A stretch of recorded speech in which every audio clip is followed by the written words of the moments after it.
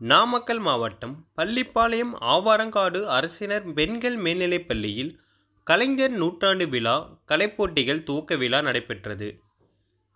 நாமக்கல் மாவட்டத்தில் முத்தமிழ் அறிஞர் கலைஞர் நூற்றாண்டு விழாவை முன்னிட்டு அனைத்து வகையான அரசு பள்ளிகள் உதவி பெறும் தனியார் உயர் மேல்நிலைப் பள்ளிகளில் ஆறு முதல் பன்னெண்டாம் வகுப்பு வரை பயிலும் மாணவ மாணவிகளுக்கு பேச்சு போட்டி கட்டுரை போட்டி வினாடி வினா மற்றும் ஓவியப் போட்டி ஆகியவை நடைபெற்று வரும் நிலையில் இதன் ஒரு பகுதியாக பள்ளிப்பாளையம் ஆவாரங்காடு கிருஷ்ணவேணி அரசினர் பெண்கள் மேல்நிலைப் பள்ளியில் கலைப்போட்டிகள் நடைபெற்றது.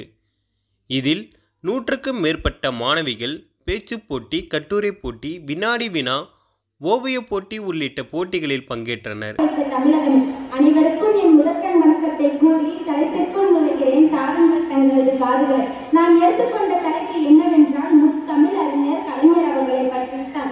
நாகப்பட்டினம் மாவட்டம் திருக்கூரை சிறு கிராமத்தில் ஆயிரத்தி தொள்ளாயிரத்தி இருபத்தி நாலாம் ஆண்டு ஜூன் திங்கள் மூன்றாம் நாள் முத்துவேலர் மற்றும் அஞ்சுகம் அம்மையார் நிகழ்விற்கு பள்ளியின் தலைமை ஆசிரியர் சரஸ்வதி தலைமை தாங்கினார். மேலும் நிகழ்வில் பங்கேற்ற மாணவிகள் கலைஞர் கருணாநிதி அவர்களின் உருவப்படங்களை வரைந்தும் அவர் குறித்த கட்டுரைகளை எழுதியும் தங்கள் கலைத்திறனை வெளிப்படுத்தினர்.